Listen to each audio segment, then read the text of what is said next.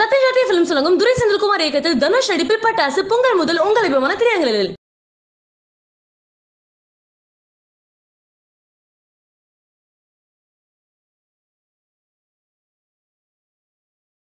யார்? இது பழைய கேள்வி இது. அதனால் ஒவ்வொரு தடையும் இல்லை ஒவ்வொரு தடையும் ஒவ்வொரு தடையும் வந்து நாங்கள் சொல்கிற மாதிரி சரி எங்களுக்கு வந்து மிட்டாய் கொடுத்து அல்வா கொடுத்து பழக்கம் இல்லை. எங்களுக்கு வந்து மக்கள் ஏற்றுக்கொள்ளக்கூடிய அளவுக்கு வந்து ஒரு ஆக்கப்பூர்வமான திட்டங்கள் பொங்கல் பரிசு போன்ற இது போன்ற ஒரு உன்னதமான திட்டங்கள் தான் கொடுப்போம். ஆனால் சாக்லேட்டு மிட்டாய் கொடுத்து ஏமாத்துகிற இயக்க திமுகவில் நான் கிடையாது. அனைவருக்கும் இனிய பொங்கல் நல்வாழ்த்துக்களை மிக்க மகிழ்ச்சியோடு தெரிவித்துக் கொள்கின்றேன். மாண்புமிகு தமிழக முதலமைச்சர் அவர்கள் தமிழ்நாட்டில் உள்ள ஜாதி மத இன மொழி எல்லாவற்றையும் கடந்து அனைவருமே பொங்கல் கொண்டாடப்பட வேண்டும் என்ற வகையிலே ரெண்டாயிரத்தி முந்நூறு கோடி ரூபாய் அளவிற்கு நிதி ஒதுக்கீடு செய்து ஏறக்குறைய ரெண்டு கோடி எட்டு லட்சம் ப குடும்பங்கள் பயனடைகின்ற வகையில் பொங்கல் பரிசு தொகுப்பினை வழங்க உத்தரவிட்டு அதன் அடிப்படையில் தொண்ணூற்றி நாலு சதவீதம் பேருக்கு பொங்கல் பரிசு வழங்கப்பட்டது.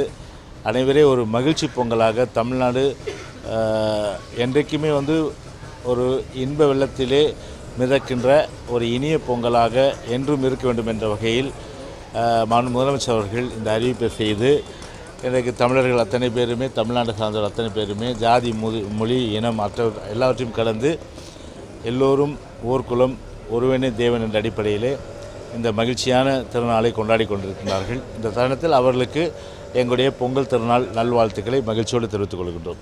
பொங்கல் பரிசு எல்லா இடத்துலையும் சரியாக மக்கள் எல்லா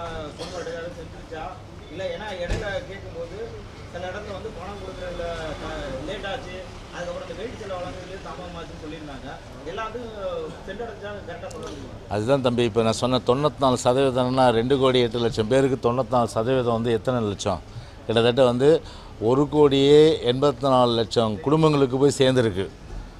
அது கூட வாங்காதவங்களுக்கு இன்றைக்கி அரசை பொறுத்தவரையில் இருபத்தோராம் தேதி வரல வாங்கலான்ற லெவலில் உத்தரவிட்டிருக்கு. ஏன்னா இருபத்தோராம் தேதி வரல அவங்க வந்து பொங்கல் பரிசு தொகுப்பினை அவர்கள் வந்து பெற்றுக்கொள்ளலாம் எனவே வந்து யாருக்கும் இல்லைன்னு சொல்ல பாஜக மூத்த தலைவர் பொன் ராதாகிருஷ்ணன் வந்து சொல்லியிருக்காரு தமிழகம் வந்து தீவிரவாதிகள் கூடாரமா மாறிக்கொண்டு வருகிறது அப்படின்னு சொல்லி அவர் நல்லா அந்த மனுஷன் ஏன் இப்படி ஆகிட்டாருன்னு எனக்கு தெரியல எனக்கு. அவர் இப்போ இல்லை. அம்மா காலத்திலிருந்து தொடர்ச்சியாக அரசை வந்து ஒரு குற்றம் சொல்கிறதே வந்து ஒரு வேடிக்கையாகவே வாடிக்கையாக இருக்குது அவருக்கு. ஏன்னா அவருடைய கருத்தை நாங்கள் வந்து பெருசாகவே எடுத்துக்கிறதில்லை ஏன்னா இது வந்து ஒரு பிஜேபியினுடைய கருத்தாவோ இல்லை பிஜேபி கட்சி சார்ந்த கருத்தாவோ நிச்சயமாக நாங்கள் நினைக்கல. சரி அவர் வந்து ஒரு அஞ்சு வருஷம் மத்திய அமைச்சராக இருந்தார். மத்திய அமைச்சராக இருந்த சூழ்நிலையில் என்ன வந்து தமிழ்நாட்டுக்கு பண்ணார்? விடுங்க. நாங்கள் வந்து மத்திய அரசோடு இணக்கமாக இருந்து மாண்பு முதலமைச்சர் வந்து ஒவ்வொரு தடவை வந்து பிரைம் மினிஸ்டர் சந்திக்கும் போது சரி அதே போல் எல்லா துறை அமைச்சரையும் முதலமைச்சரும் சந்திச்சிருக்காரு.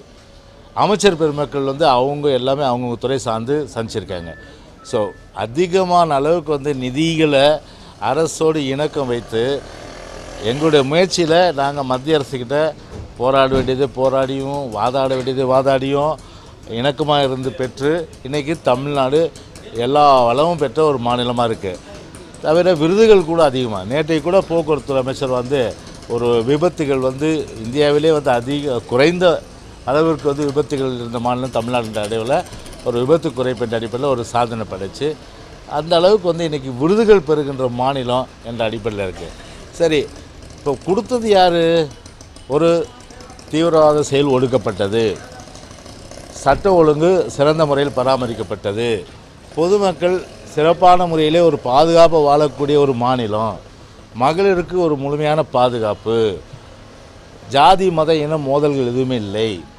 சட்ட ஒழுங்கை பேணி காக்கின்ற சிறப்பான மாநிலம் என்று சொல்லி நான் முதலமைச்சர் எடுத்த முயற்சிக்கு அங்கீகாரம் கொடுத்தது யார்? மத்திய அரசு.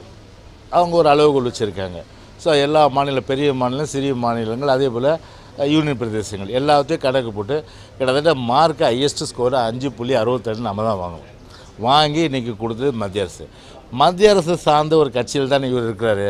அப்போ இவருடைய குற்றச்சாட்டு மத்திய அரசு ஏத்தா? நான் கேட்குற கேள்வி.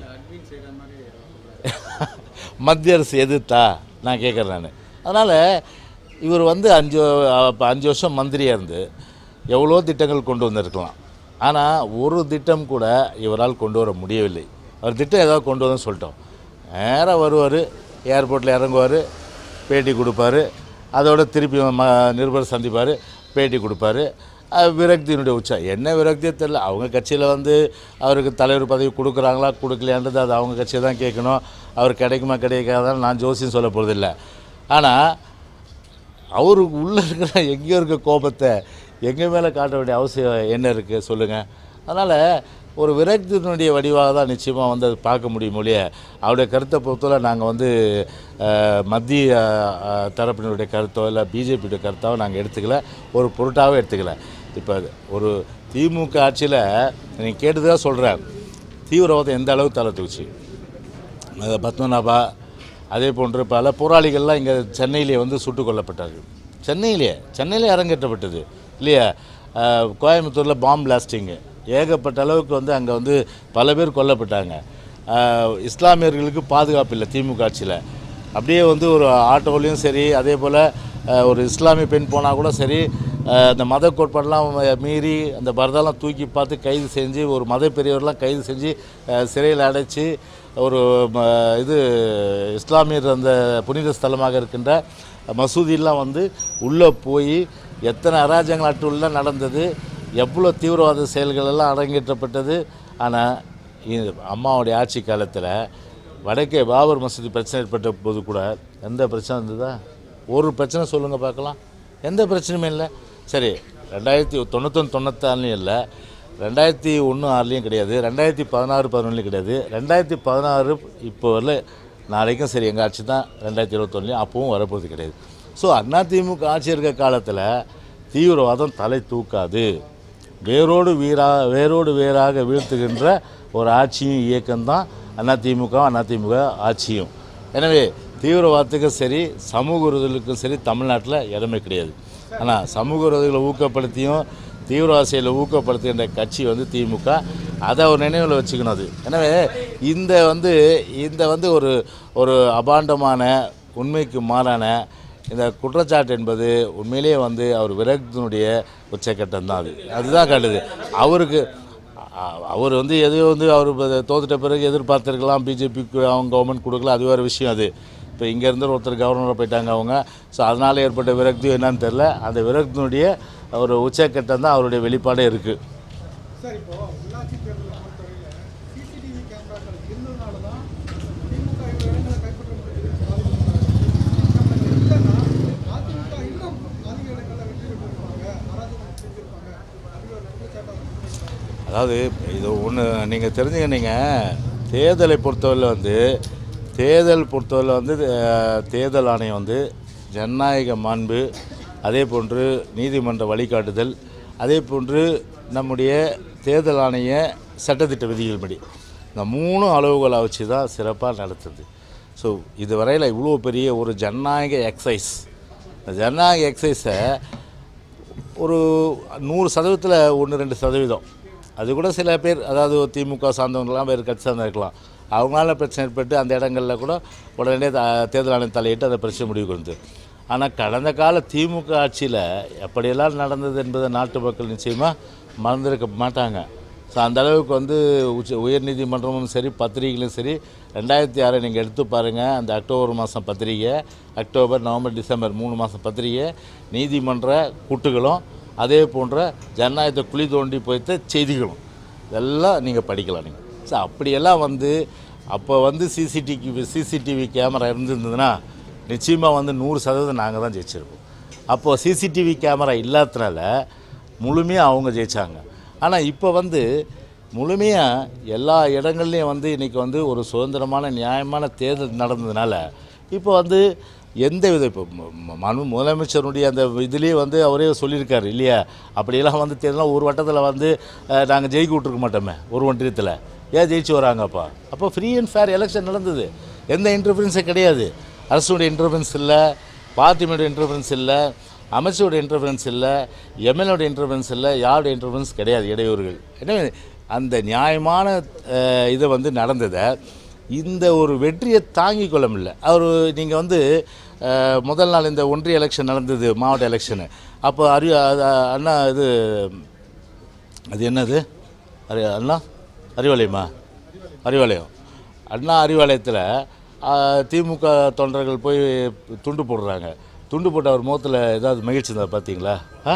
கடு கடு கடு கடு இருந்தார். அப்படியே சும்மா அப்படியே இந்த இது கண்ணகி வந்து மதுரை எரிச்ச அந்த கோபம் இருக்கு இல்லையா? அந்த மாதிரி கோபம் இருந்தது. காரணம் என்னென்னா ஸோ அந்த அளவுக்கு வந்து அவருடைய அனலிட்டிக்கல் பக்கத்தில் இருக்க சொல்லுவாங்க. கணக்கு அவர் போடுறதா கூட பக்கத்தில் இருக்க கணக்கு போட்டு சொல்லியிருப்பாங்க. ஸோ பாராளுமன்றத்தில் நீங்கள் எடுத்த எலெக்ஷன் ஓட்டு என்ன? இப்போ குறைஞ்சது எப்படி? ஸோ இந்த நிலமை போச்சுன்னா நீங்கள் அம்பேல் தான்.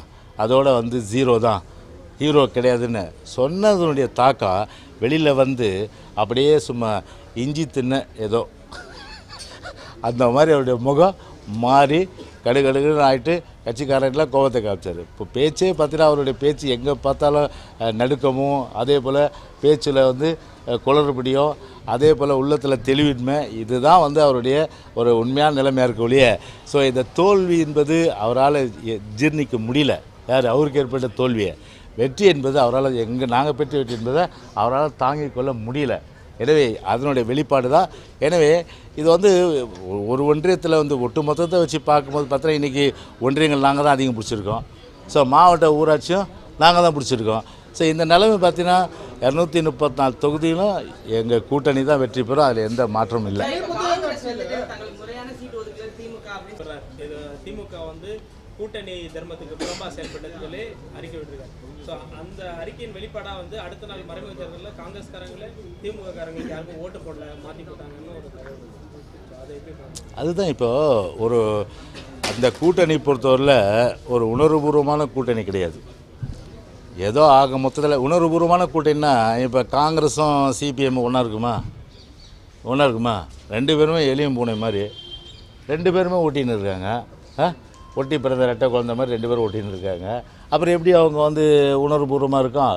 ஸோ அந்த உணர்வுபூர்வமான கூட்டணி இல்லாதனால கண்டிப்பாக அது வந்து ரெண்டாயிரத்தி இருபத்தொன்று வரை தாக்கு பிடிக்குமான்றது தான் கஷ்டம்.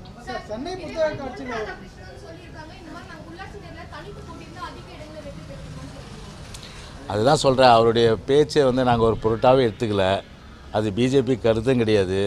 அவர் வந்து மனம் போன போக்கு வாய்க்கு வந்த போக்கு மா வாய் புளித்ததோ திரு திமுக தலைவர் ஸ்டாலின் சொன்னது போல் இப்போ அவருக்கு இந்த பாஷை சொல்லணும். வாய் புளித்ததோ மாங்காய் புளித்ததுன்ற மாதிரி அவருடைய பேச்சு ஒவ்வொன்று இருக்குது அதனால் ஜஸ்ட் இக்னோர்